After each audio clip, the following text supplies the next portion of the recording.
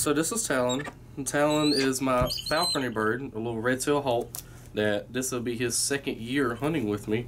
I've had him since he was a little bit less than a year old, and this is probably going to be our star of the show today. So they call it a red tail because of the tail? Oh yeah. Look at those feathers. So you use him to hunt squirrels? Mm-hmm. Squirrels and rabbits is our primary prey base. A lot of falconers use red-tailed hawks just because they got those really thick toes with huge talons and they can handle a bigger mammal like that. All right, so what's involved in being able to own and work with a bird like this?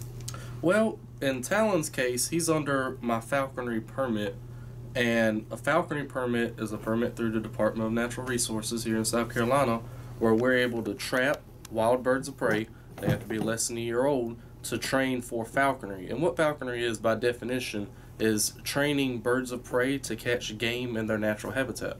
To get this permit, you actually have to qualify by taking a 105 question exam through the Department of Natural Resources. And you want to do that first because it kind of makes you look good to what we call a sponsor. And a sponsor is a falconer. They have to be a general level falconer. And so I had to be mentored by a sponsor for four years. And then after all those steps, you'll be able to get your permit to trap your first bird.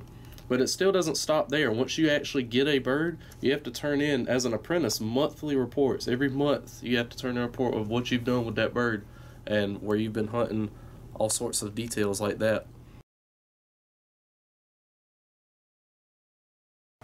What falconry is, is it's taking raptors like hawks, eagles, falcons, and owls and training them to hunt with. So hunt game in their natural habitat. So the story with him is him and three brothers were taken from a nest by people who thought owls were really cool and they wanted to keep it as a pet. And I like to emphasize that owls are not pet, neither are any other birds of prey. They don't make good pets. He was extremely malnourished. So this guy and his two brothers, it was Winky, Blinky, and Dinky, um, were brought to a rehabber and they were imprinted, meaning they really don't know that they're an owl. So if he was released back to the wild, he really wouldn't know what to do with himself. So that's why he's on the educational permit. She is actually a falconry bird, so we use this bird to go out and catch game in their natural habitat. With her thinner toes, even though they're still relatively large, is going to help her catch those rabbits that we put her on. Red tails dominate South Carolina falconry, and this is because of the way that they're built. The reason we use them on squirrels is because a squirrel can have a pretty nasty bite. A fox squirrel can have a bite upwards of 10,000 pounds per square inch. Um, and gray squirrels are right behind them.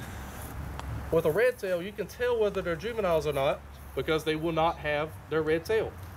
They will actually have a brown tail. So when we're out trapping, we're going to look for that brown tail. As they get older, and it's hard to see from far away,